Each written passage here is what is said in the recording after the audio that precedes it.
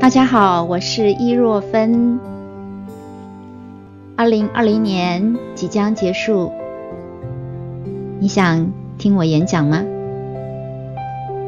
受到新冠病毒疫情的影响，今年我除了在新加坡亚洲文明博物馆一月份的时候有一场演讲之外，所有的演讲都换成了线上的讲座。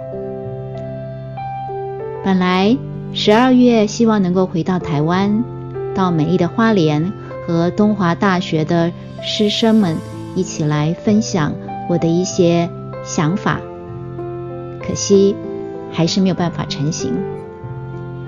一些朋友知道我在东华有演讲，希望除了实体的演讲的课室之外，也可以在线上听到我的发言。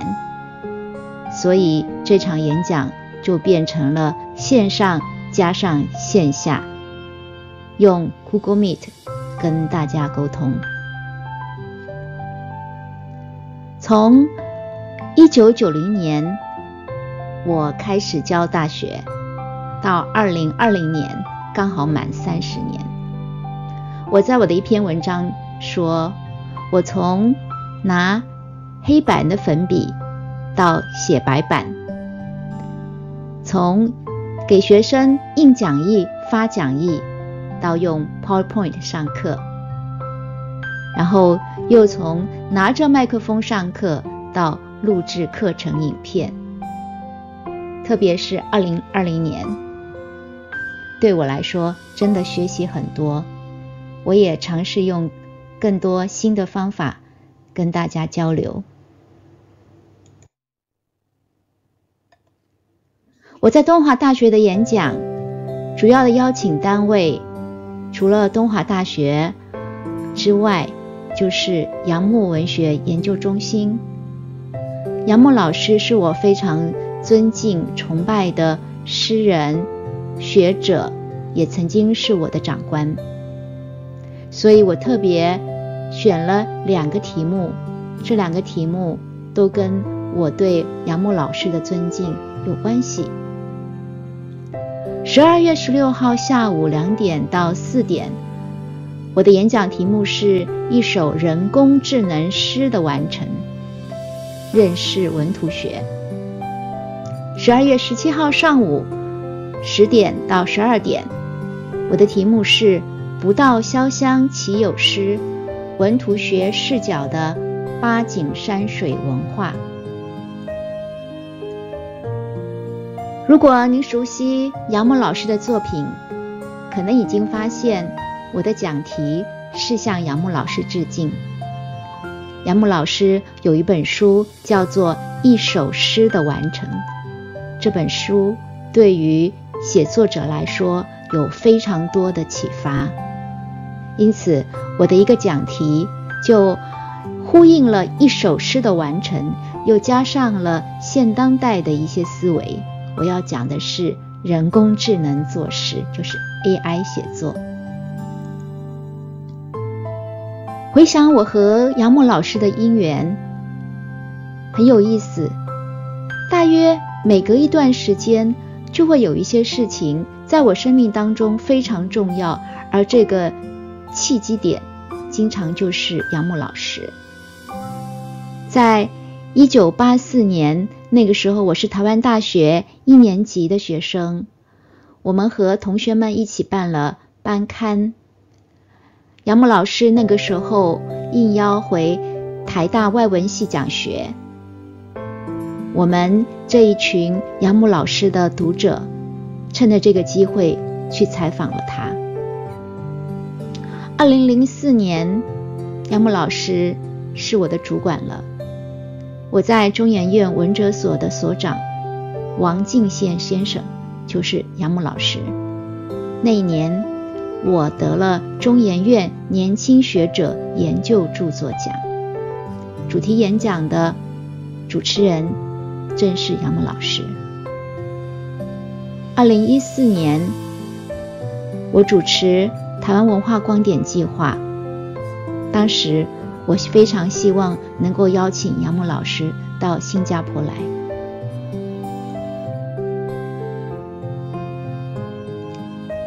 这篇采访稿的作者是我的好同学刘慧华，他现在在马来西亚教书。我们和另外一位香港同学叫陈俊强，我们几个人去杨木老师在台大外文系的办公室去采访他。我们编的台大中文系的班刊，四年来每年出版一本，是我们非常珍贵的在台大求学的青春记忆。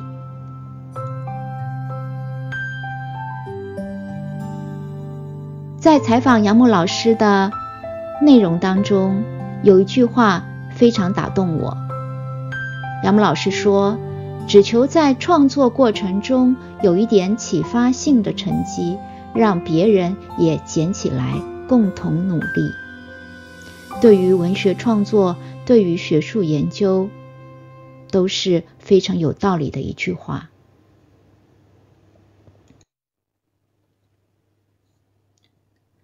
二零零四年八月十九号，杨牧老师主持我在中研院文哲所的演讲。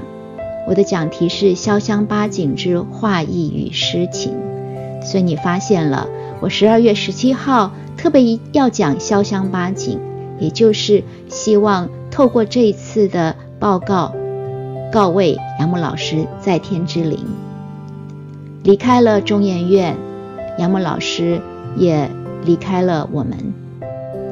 但是我希望我的研究能够用交成绩单的心情，让他知道我持续在努力着。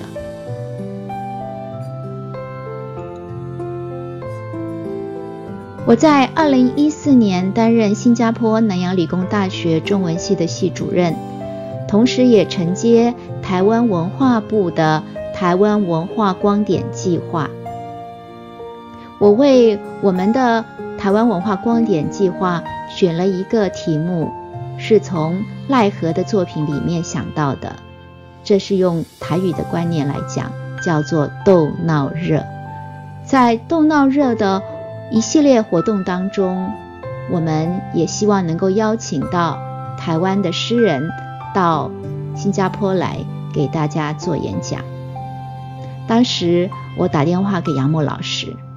杨默老师，他说他没有到过新加坡，嗯，但是他懒得移动，所以我跟莹莹师母说，嗯，能不能劝劝看杨老穆老师，如果他愿意的话，是对我们来说是非常高兴的事情。而且杨木老师说他没有到过新加坡，这怎么可能呢？他应该要来呀，一定要来呀。但是过了几个礼拜，我再打电话给杨木老师的时候，师母说杨木老师懒得旅行，以后再说吧。我也只好说，嗯，好的，尊重老师的想法，以后再说。很可惜，当时我没有坚持，呃，就再也没机会了。现在讲起来还挺伤感的。十二月十六号的演讲，我想要从人工智能写诗来给大家介绍我所创发的 Text and Image Studies，中文叫做文图学，于是从文本图像的角度来认识这个世界。我希望透过这样的一个讲题，跟大家一起思考现当代的译文创作和文化生产。受到了人工智能怎么样的影响，以及我们可以怎么样去应应？这里有当天演讲的报名表格，我也会把这个报名的表格的链接放在这个影片的说明当中。十二月十七号的演讲呢，我要跟大家。讲文图学视角的八景山水文化。什么是八景？是哪八个景致呢？我们可以反过头去想，哎，我们现在每一次旅行的时候都要去拍照啊，去打卡呀。古人是不是也是这样呢？他们拍照跟打卡的方式就是写诗和画画。所谓的潇湘，概括来说是中国的湖南地区。可是到了南宋，哎，潇湘搬到了杭州和南京哦，这是一种移动的概念。后来又在十一和十二世纪被高丽、日本、越南吸收，以至于到我们现在，台湾、香港、新加坡、马来西亚都有一些地方八景。我们可以用文图学的视角来一起漫游山水诗画。我设想我们的演讲的情况大概就会是和我今年九月二十九号在中兴大学的演讲是一样的。呃，大概是这样，就是现场会有一些同学听众，然后你们会看到我在荧幕上面，然后线上的朋友们也会在线上呃跟大家一起来听演讲。这两场演讲的相关的材料，其中的一本书是我即将在今年年底要出版的，叫做《春光秋波看见文图学》。呃，会有比较清楚的、有系统的关于文图学的整体介绍。这次的演讲，我会挑几个重点来跟大家谈。另外一本书是去年我在新加坡出版的，叫做《东张西望：文图学与亚洲世界》，这是我举办的一场学术讨论会的会议论文集。关于烧香八景，如果你感兴趣的话，欢迎参看我的书。这本书叫做《云影天光：潇湘山水之画意与诗情》，繁体版是在台北联书局出版。呃，今年新修订的是在北京大学出版的简体版，在内容上面有一些调整，而且增加了一些图像的材料。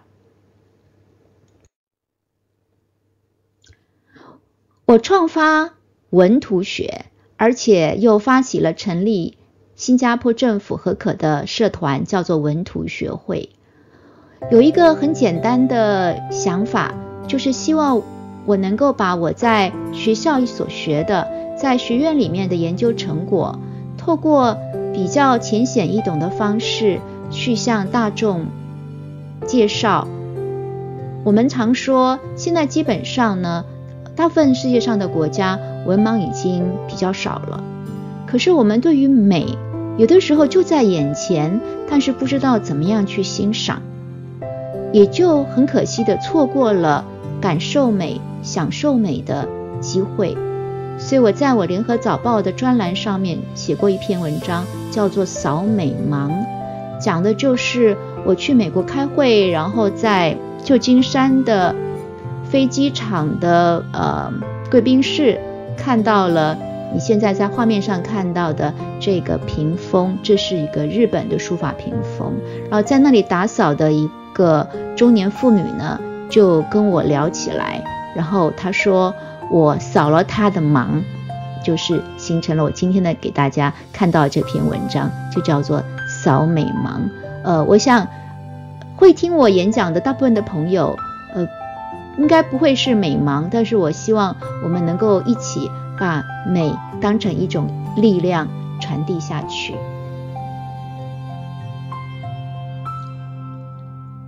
在东华大学的两场演讲的报名时间是在十二月十一号的晚上十一点截止，请大家在线上报名，然后我会再把会议的链接透过电邮发给您，欢迎大家。关注我的个人网站以及文图学会的网站，哪一个是我的，哪一个是文图学会的网站呢？